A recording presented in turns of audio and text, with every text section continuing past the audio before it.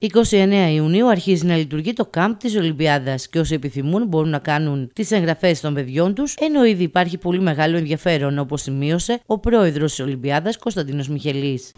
Φέτος το καλοκαίρι και επιτρέποντος των υγειονομικών δεδομένων, ναι. ε, θα γίνουν τα κάμπ όπως ναι, ναι, έχουμε 28 και 29 του μηνός έχουμε το Πανελλήνιο Πρωτάθλημα ε, K16 μέχρι 16 χρονών δηλαδή που θα γίνει στην Ελευθερούπολη Καβάλας ε, Κυριακή και Δευτέρα. Την ίδια όμως μέρα το πρωί αρχίζει το κάμπ 28 του μηνό, 29 του μηνός Δευτέρα αρχίζει το κάμπ και όπως γνωρίζετε σε αυτό τον υπέροχο χώρο θα μαζευτούν όλα τα μικρά παιδιά μέχρι 10-11 χρονών να περάσουν το καλοκαίρι. Ώρα προσέλευσης 8, ώρα αποχώρησης 2,5.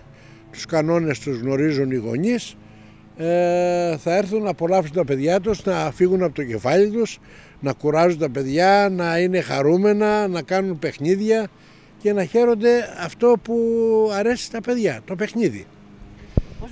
Πότε μπορούν να κάνουν εγγραφές και με ποιον τρόπο; Οι εγγραφές αρχίσουν μετά τις 15 του μηνός γιατί η προσέλευση σήμερα ε, φέτος θα είναι πάρα πολύ μεγάλη, ίσως επηρεασμένη όντως από το COVID που μείναν μέσα τα παιδιά.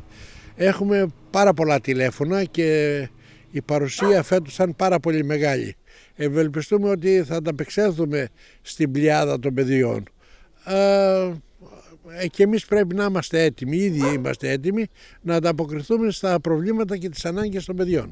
Στο Πανελλήνιο Πρωτάθλημα Αντρών Γυναικών που θα διεξαχθεί το Σαββατοκύριακο στην Πάτρα θα συμμετέχει και ο κομμωτινέο αθλητής Μπανιώτης, ενώ στη συνέχεια έχει τους Ολυμπιακούς Αγώνες του Τόκιο και έπειτα στη νέα αθλητική περίοδο θα είναι πλέον προπονητής στην Ολυμπιάδα Κομμωτινή, σύμφωνα με όσα δήλωσε ο κ. Μιχελής. Ξεκινάμε με το Πανελλήνιο Πρωτάθλημα Ανδρών Γυναικών που γίνεται στην Πάτρα το Σαββατοκύριακο ε, όπου θα μετέχει στο τελευταίο Πανελλήνιο Πρωτάθλημα ο Μπανιώτης γιατί μετά έχει τους Ολυμπιακούς Αγώνες στο Τόκιο και τελειώνοντας και από τους Ολυμπιακούς Αγώνες στο Τόκιο με τη νέα περίοδο την αθλητική μήνα Σεπτέμβριο θα αρχίσει να γυμνάζει παιδιά. Είναι πλέον, θα είναι πλέον ο προπονητής της Ολυμπιάδος.